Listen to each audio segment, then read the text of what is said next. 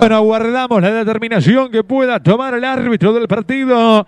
15 minutos y medio, una posible mano de Facundo Kid que chequea el video de arbitraje justamente aquí en el estadio Supichi de la ciudad de Colonia. Estamos llegando a 16 minutos, bastante demorada la cosa, no hace fácil 3 minutos que está Ferreira, que ahora sí parece va a tomar la determinación. Veremos qué define el árbitro penal. Penal para Peñarol, señores.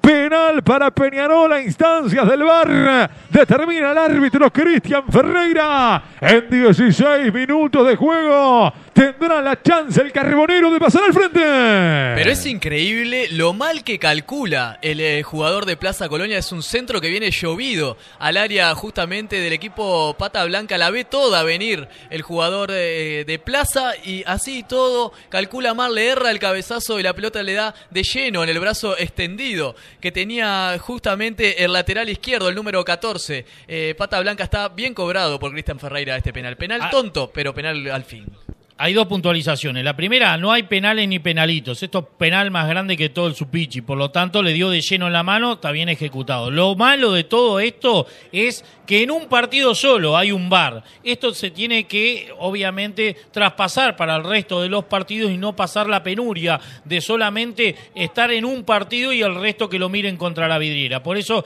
eso es la parte mala de donde yo le critico a la AUF, que el bar debe estar en todos los partidos o no haber para ninguno. Le voy a pedir un informe a Pablo Celentano porque hubo amarilla en el conjunto canoniense.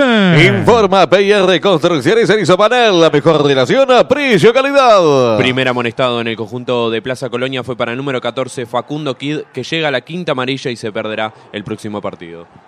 Estás escuchando Fútbol Multimedia por montevideoonline.com.uy 17 minutos y medio, señores. La chance para Peñarol de adelantarse al marcador. Hubo alguna discusión allí dentro del área. Realmente fue a tocar la pelota. Guirín no entendí la tontería que quiso hacer el arquero de Plaza Colonia. Más que buscar problemas, lo cierto, que ya se tranquilizó todo dentro del área. Está para darle la pelota a Cepelini. Tenemos casi 18 minutos de partido. Va a buscar Peñarol la apertura del marcador aquí en Colonia al video arbitraje. Terminó determinando este penal para el equipo aurinegro tras la mano de Facundo Kid dentro del área. Va a dar la orden al árbitro. Le va a pegar Cepelini. Momento de expectativa. 18 minutos. Se mueve en el arco Guirín. Va a llegar Cepelini. Le va a pegar el número 8. Atención porque va Peñarol por el primero. Se prepara para darle Cepelini. Va a dar la orden al árbitro. Allí viene Cepelini.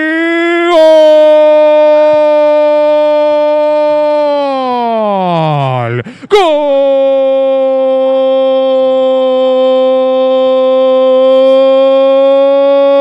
Gol de Peñarol. Cepelini. Cepelini, señores, de tiro penal. Se adelanta el carbonero en Colonia. Lo pateó al medio del arco. Se volcó contra la izquierda. El guardameta Nicolás Girini Peñarol. Tempranito arranca ganando en Colonia. Cepelini de penal. 1 a 0 el carbonero que quiere seguir prendido en la lucha por la apertura. Fútbol multimedia, la otra manera de vivir el fútbol. Esta vez bien ejecutado por Cepelini. Fundió el golero, fundó el golero eh, Nicolás Guirín. Lo mató hizo el primero Peñarol, le importó poco la polémica del penal o no penal. Lo cierto que ahora el Carbonero va en ganancia.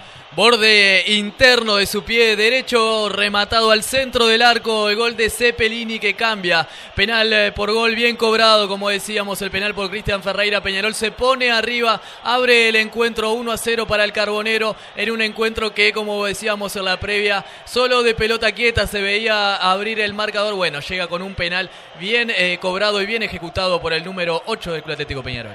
Quinto gol en el torneo para el jugador aurinero con la 8, Pablo Cepelini. Estás escuchando fútbol multimedia por montevideoonline.com.u y la gran cadena de emisoras del interior del país.